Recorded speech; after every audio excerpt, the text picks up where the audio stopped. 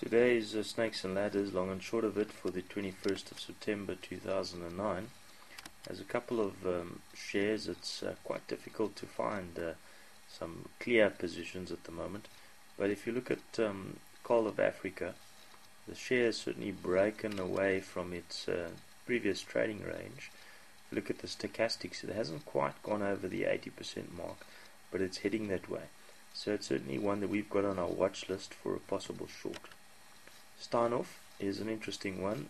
It's um, gone up to uh, 1750 level in previous times and it's pulled all the way back to about 1610 at the moment, which you can see it's just broken through the bottom of the Bollinger Band and broken through the bottom of the stochastics.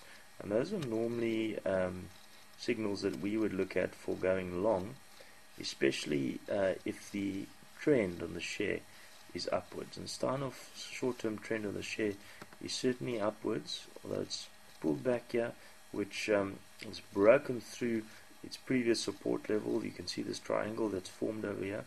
And from that point of view, we think that there's likely to be a turnaround. Of course, sometimes a breakthrough uh, support level like this could indicate a new low, so one needs to exercise due caution. But we would expect uh, a turnaround because if you look at the various support, there's uh, one level of support, another level of support that comes through here. So 1610, 16 Rand seems like a pretty good support level. Um, last week we made quite a lot of money on trading um, platinum shares, mostly going short and a few occasions of a bounce back going long.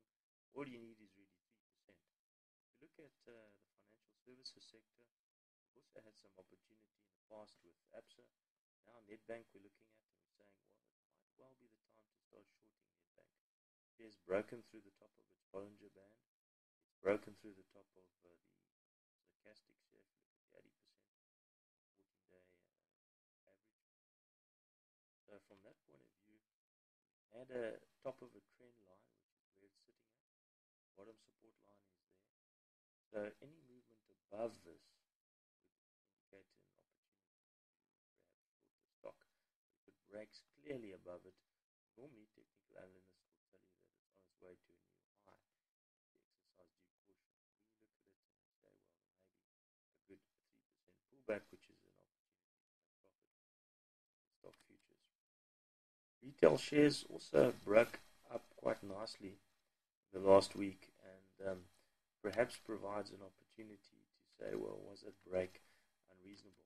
You look previously, like the top line on ShopRite, broken above that top line. If you look at the top uh, line on uh, Pick n Pay, it's just broken marginally above that.